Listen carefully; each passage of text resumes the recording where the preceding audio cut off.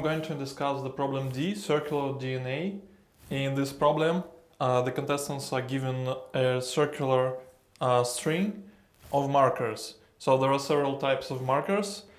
Uh, they are denoted by, by the number, and for each type of marker, there, there is uh, uh, there is some number of uh, starting number starting markers and ending markers. So, for example, this is starting marker for the first marker type, and this is ending marker for the second marker type.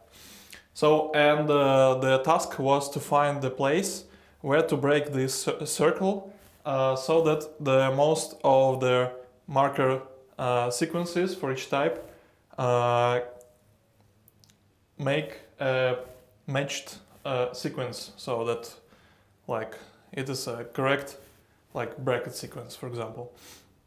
Uh, how to solve this? Uh, first of all, uh, we can consider uh, each type of marker separately, each number.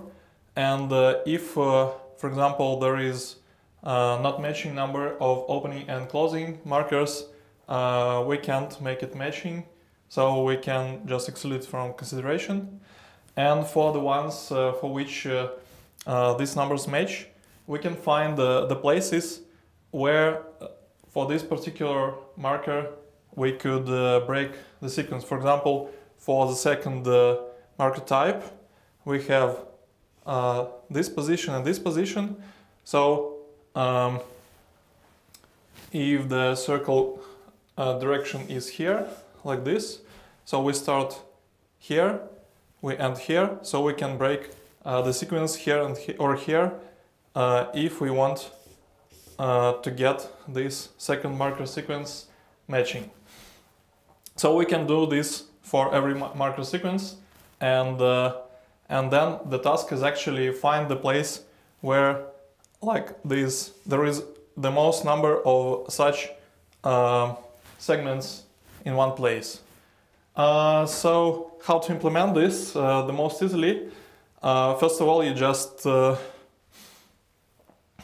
pick some point and start going by the circle from this point and for, we, for each marker type, uh, you just uh, uh,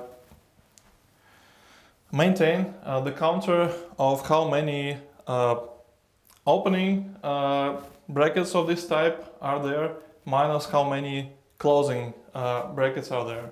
So uh, the places where you can break uh, the sequence are just the places where this particular counter for specific number is minimal.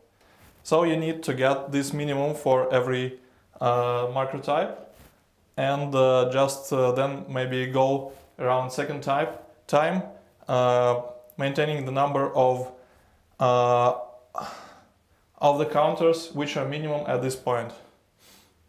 So yeah, that's it. The, the, the solution is linear and Ja, Thank you.